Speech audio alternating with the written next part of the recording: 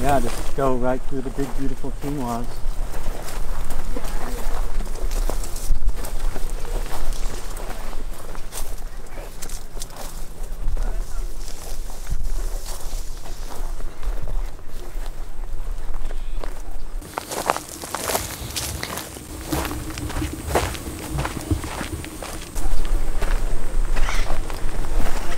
Yeah, I think the, the quinoa are incredible.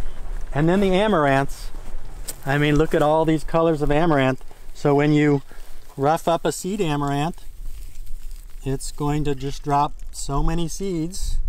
And then you can blow those little flowers away and have just a handful of beautiful amaranth seed that appears to have all your amino acids except for lysine. And so as far as part of a nutritional profile, again, really honoring those indigenous cultures mm-hmm. of Mesoamerica and South America who, since time immemorial, have been in relationship with amaranths, with quinoas, and that collaboration and honoring of beauty, whether it's the, the amaranths, the quinoas, the corns, the sunflowers, these crops that come from the, the so-called Americas. Take those sunflowers over here.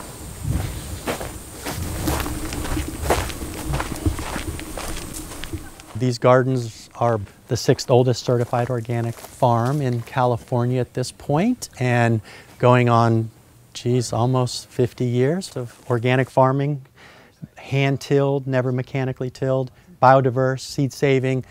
This plant, seed amaranths, grain amaranths, although when they're young and small, as a little baby plant like that, comes up as a seedling. So if you let your plants that are edible go to seed, your seed bank in your soil becomes loaded with edible plants.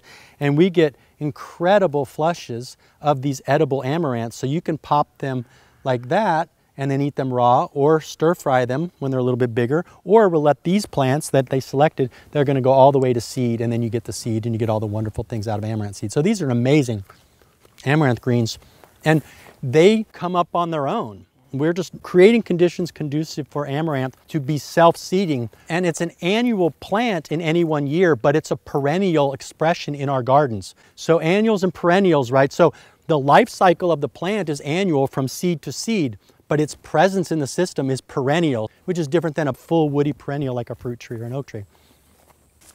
This is my favorite fruit right now. This little guy is called a Shipova, and it's a hybrid, a French hybrid between a mountain ash, a sorbus, and a pear, a pyrus. It's a sorbo-pyrus hybrid called Shipova. Oh, forget about it. Seriously, people. That is the sweetest thing.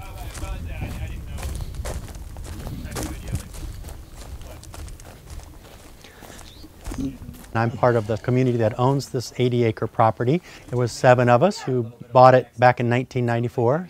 It's the community kitchen, dining room. Everybody eats meals together here all the time. Worm bins, composting facilities, pears from the planted in the 1890s. And it's a consensus-based residential collective of folks who all live on site and have raised families on site and kids and what's up adam? Hi bob. How you doing? Good.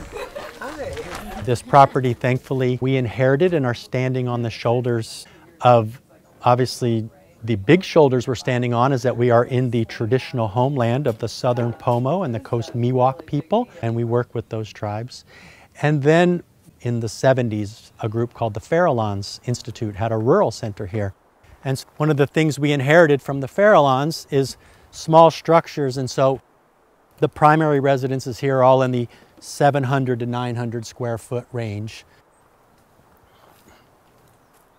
Again, this place was the Farallones Institute in the 70s, and a, the state architect of California at the time was a man named Sim Van der Ryn, and he was one of the co-founders of this place.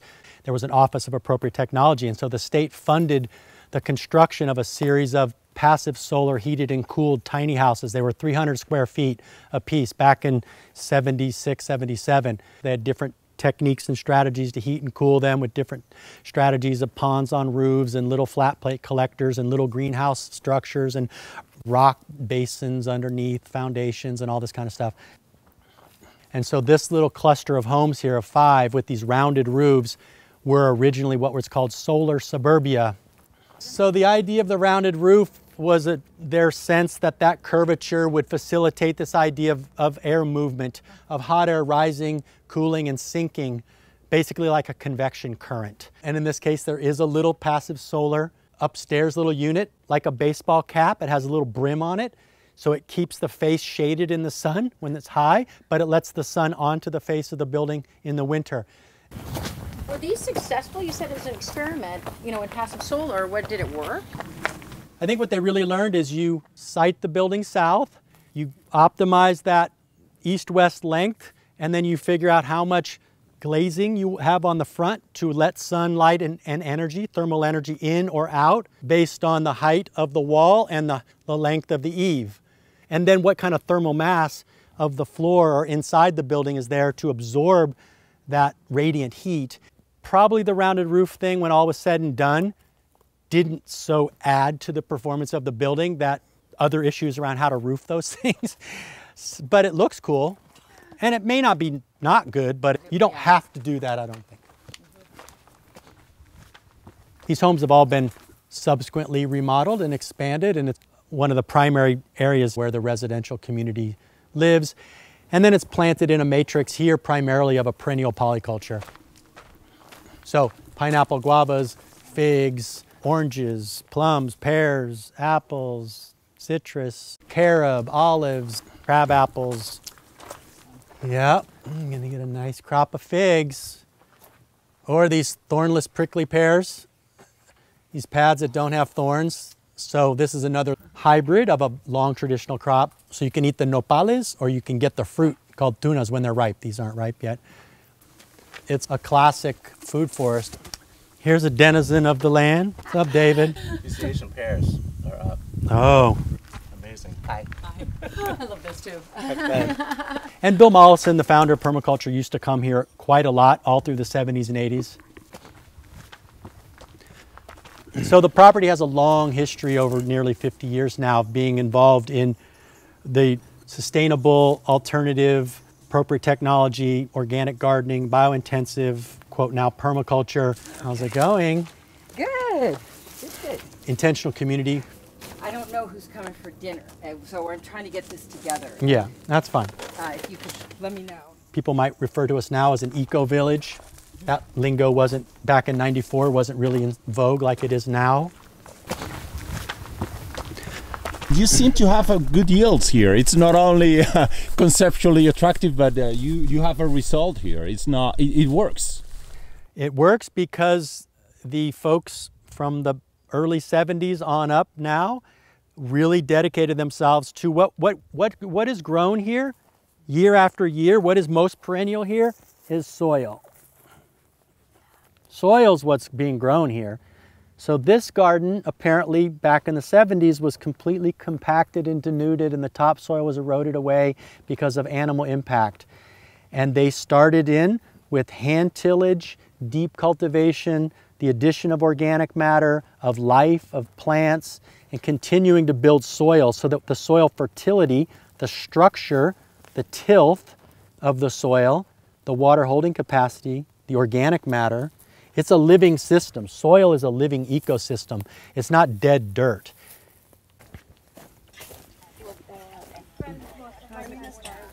Biointensive is a gardening technique and it's most known for a soil building methodology called double digging. That allows you to very rapidly, with a lot of input and energy, so it's a lot of work, but if you really need to take soil that's dead now and you're going to willing to put the energy in to get it going and loft it up and loosen it up and add organic matter because you need to grow food now, it's a pretty incredible technique. The gardens here are not double dug anymore. They haven't been since the late 70s, but they get single dug or tilled. They're managed differently depending on the crops. The idea that industrial agriculture believes that it should guarantee that soil becomes dead dirt by spraying it with methyl bromide, killing everything, and then artificially subsidizing your crop with ammonia nitrate, which was invented as a material as an explosive in World War I, right? And to literally kill your soil so that you have a quote high yielding single monocrop of a plant that has been genetically engineered and is patented for a corporation is entirely antithetical to everything we're about. That's our 15 minute bell for lunch, y'all. Oh, oh my gosh, we're almost done. So if we want to so we're all about life, not death.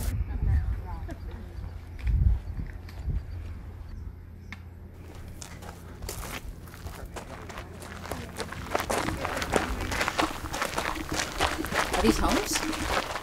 So these are our, our guest houses for when students come for a workshop or a training. This plaster is a lime-based plaster. So instead of a straight stucco where you use the Portland cement, and the whole process of basically for every pound of Portland cement, there's three pounds of CO2 that has to get cooked out of that calcium, that limestone.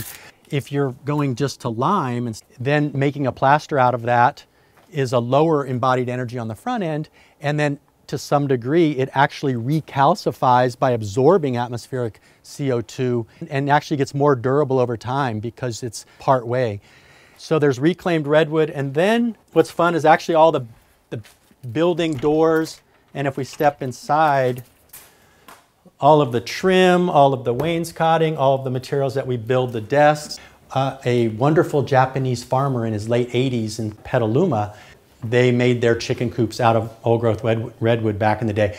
And they're now mostly falling down. So he donated his whole chicken coop to us, and we spent several weeks with our crew disassembling it and replaning it and cleaning it up. So pretty much all the interior trim is from reclaimed chicken coop that was built from the 1920s. All of the sink water and the shower water all goes into on-site gray water systems. So it's plumbed with a two-way valve that allows us to direct it to the landscape and we do the traditional system where it's a mulch basin system out into our edible food forest. And then in this case actually where it says toilet, this toilet here is a compost toilet. And so it's a bit of a advanced version. So it has three ounces of water in this and it's a vacuum flush toilet because where the unit is is in the opposite side of the building and so to convey the material over there. And we have a formal permit with the County of Sonoma, with the County Health Department and the Regional Water Quality Control Board. And we've had one round of tests so far and they've come actually really clean. And so it's we were able to take a combined number ones and twos in a compost system and render it pathogen free and then be able to get at the carbon nitrogen compost again, which reutilizing in a forest-based system as a mulch.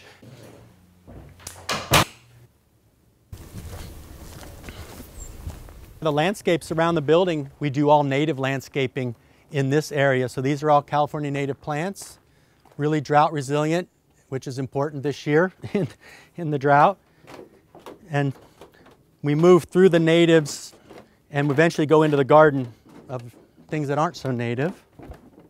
So we were just looking at the front end of the compost toilet and we have what we call our G and G criteria, which is we want to please grandma on the front end and we want to please government on the back end. So down here is where the business end of that toilet is of once you make your contribution so we can study it scientifically, it ends up in this model here. We're actually studying three different models that are available commercially and this one is called the Phoenix. The material comes into the top. There was some organic matter that's put in here in the beginning, and then that material that went through a masticator, grinder, is deposited on the surface, and then the biology in here eventually renders it, composts it through a thermophilic, biological based, aerobic with oxygen based compost. And the finished material, when it's done, we're able to harvest out of the bottom. We have the Phoenix system, we have a Clivus multrum system, and we have one that's called the Eco Carousel from Sweden in another building. So we're doing a comparative test. Here's actually where the gray water system goes. So this is a classic three-way valve, and right now it goes to this direction. And when someone uses either the shower or the bathroom sink up there, we're going to divert that water through this small pipe and we take it out into a mulch basin in the landscape and are able to irrigate it on site in a gravity-based way without electricity. Obviously, there's compost toilets that are just simple. Someone hand cranks it at home. I mean, why all this? This is a commercial building, so it's lots and lots of people coming through. So we've got a higher volume system here. So when you see this system, you're not thinking to yourself, well, wait a minute, that's bigger than what I need for my private family home. This is the next level up.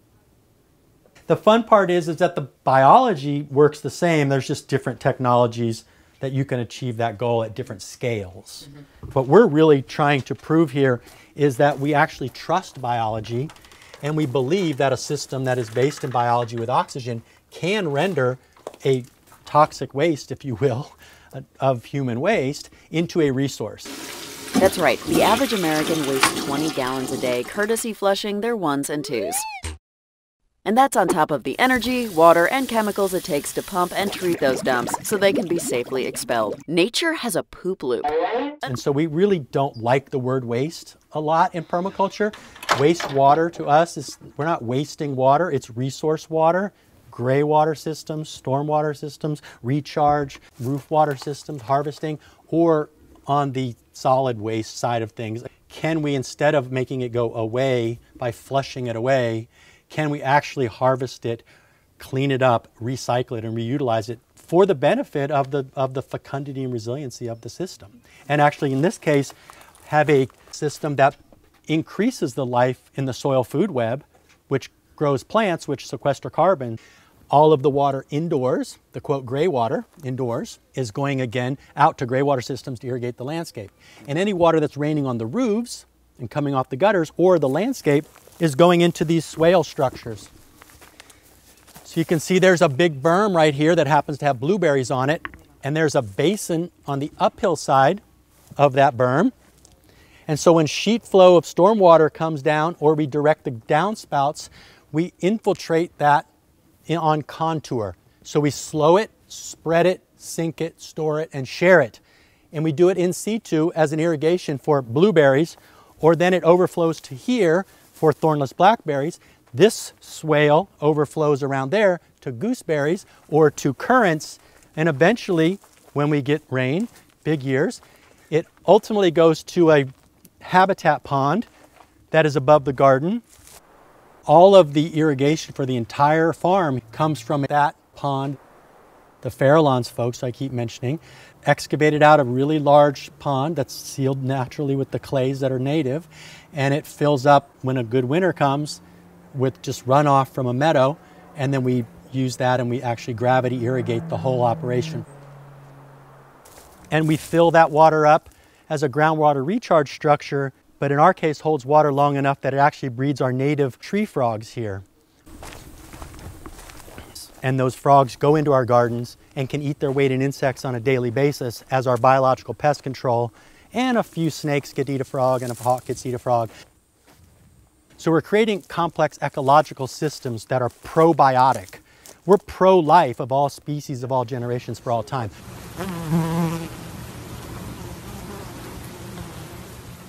We're not antibiotic. Antibiotics is when you're against life and you live on the only planet in the known universe that has life, kind of a party foul. So we're probiotic, permies here.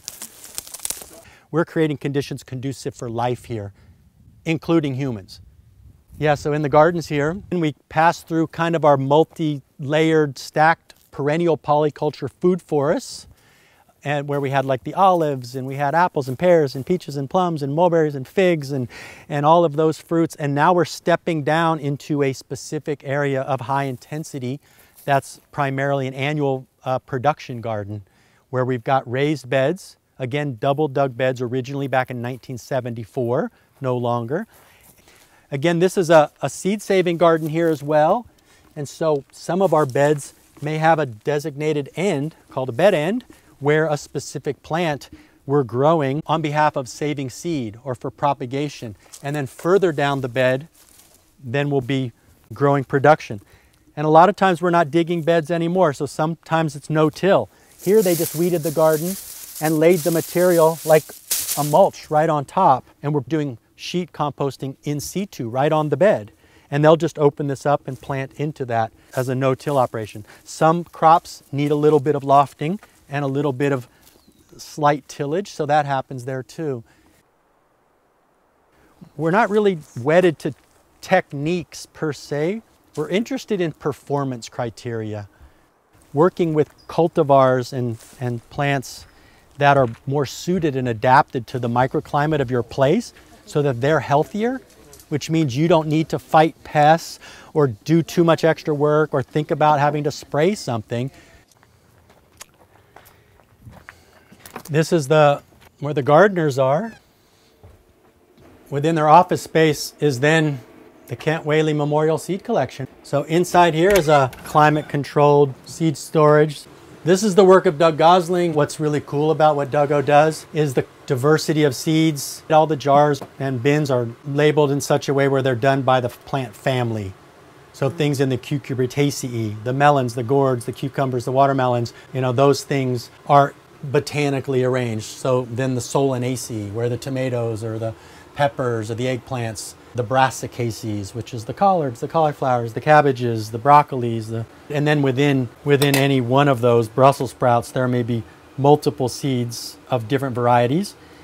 Dougo's part of a global community of people who save seeds and trade seeds and share seeds, and, and he has a wonderful nursery So, so the idea of seed saving is we can't just rely on the stuff that's sold commercially in stores.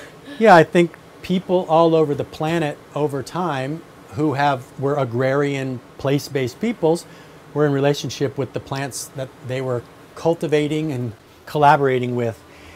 And over time, as the food system has become corporatized and industrialized in sort of a green revolution, really point past 1950s era, the wealth and the diversity of genetics has been whittled down because the gene pool has been narrowed down because of a consolidation in a corporate scenario. And then many of those crops were then hybridized and patented and such that you don't have access to the genetics unless you buy it from this corporation. And then they put in a terminator technology with a genetic engineering piece. So now you're on the hook to them and that's just not a recipe for resiliency and community security. And so the global world of seed savers are pushing back against that trend and are saying actually no and really honor these these are living beings. These are organisms and we are in relationship with them.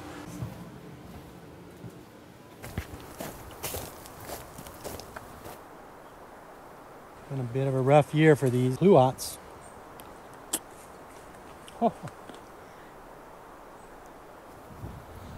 as we move through the property there's a lot of what in ecology we call ecotones or edges and so we really work with the edges in the layout of various elements in the system. And so as we move through the garden, where there's a lot of, say, production annual beds, it steps up into herbaceous borders and then it goes through a threshold of a gate. And in this case, into, say, this apple orchard, Pink Pearl, one of the great apples, of the 40 kinds of apples we have here. And then right into native oak woodland. And then it'll drop back down and we may end up having more production. Or there's a building and a landscape. And so, really creating a mosaic of connectivity and microclimates and diversity is a process that we really think about a lot. One of the things we're doing is that as people are paying attention, the West right now, in California, is in significant both drought and many years here recently, uh, significant huge fires. And so we do a lot of work in our wildlands around managing the forest in a situation where 100 years ago plus every tree was cut. Our forests have been cut three times and now it's a bit of a fuel load mess. So we work on forest health and management with a mantra of fewer trees and more forest. And we're trying to head back to old growth again through our processes and limb and thin and create a fire resilient substructure. But in areas like here where we're close to buildings with steep slopes, this is what's called defensible space. And in this case, what we did is a little bit of thinning and limbing for fire ladders in a native oak and bay forest. And then we actually have a little paddock here. And we run goats and sheep because we have a small home flock of goats and sheep. So this is a grazing paddock so we can feed our goats and sheep that are stacking functions by also reducing fuel load and maintaining a fire break as defensible space within the 100 foot zone of, say, a building on behalf of the structure protection kind of a deal. Since the first week that I moved on the property in 1994, I started limbing Doug fir trees for fire ladders because I had been doing that work before. So We've never not stopped doing land management and fuel load mitigation. Say we might limb up the dead branches and the green limbs and we might thin, so fewer trees, more forest, and the overstocked smaller trees that are not so healthy and more flammable. That material, again, is not a waste that needs to be thrown away and taken away. We see it as a resource. And so we'll sometimes place it in a gully that's eroding as a brush plug to stuff a gully to mitigate erosion that actually holds more water on the land and improves forest health and takes a problem of fire and turns it into earth and water. And the more we thin and limb the forest, the better the owls can hunt. So we're creating spotted owl habitat through fuel load mitigation while taking the waste product and creating habitat for the food source for the owl all in one fell swoop, shall we say. So integrated relational solutions is really key. That means somebody's not happy. And we hope it's not us.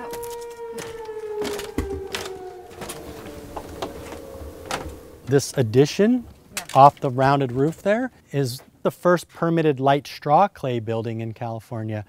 So it's got light straw clay walls, earthen plasters, interior and exterior, lime based exterior. And that is a fire plane. That's the spotter plane, which means that siren we heard, that means that plane just came from Santa Rosa and is headed that way to do the prelim on the possibility that there's a fire. That's a plane you don't want to see right now. What are you chickens doing? It's hot. You guys are in the shade, huh? Oh, hi, chickies. Here, I'll get you guys some food. This little vine is just kind of a menace. But they them some little faux vine. See, look at them. They love it so much. Oh, they want salad. They love their salad. All right, chickies. Come on, come on, come on, come on. Want some salad? Chickens are part of our composting system. So down in the main big kitchen, we have different kinds of compost buckets. And one of those buckets are fresh greens and things or rinds that either are going to go to the chickens or are going to go to the sheep and goats. And other compost is going to compost piles, and other compost is going to worm bins. So there's a whole integrated uh, carbon nutrient management system. And so the chickens are, besides the eggs we get every day, obviously there's them in relationship. And then we do also have a few little ducks still hanging around. Folks get caught up in the details and they think they have a recipe that's universally applicable, and we don't resonate with that. These guys are wonderful. Some people call them golden berries or ground cherries. It comes in its own organic eco wrapping paper. You just pop that open, pop that in, and toss. Difficult to plant and take care of. No, look, it's just here. We don't even irrigate it. It just grows.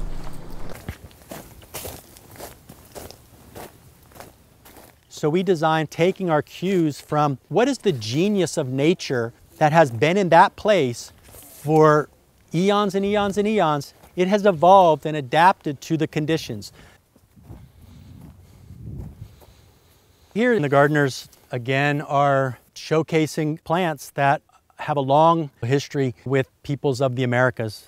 So things like amaranths or the quinoas, corns, sunflowers, tomatoes.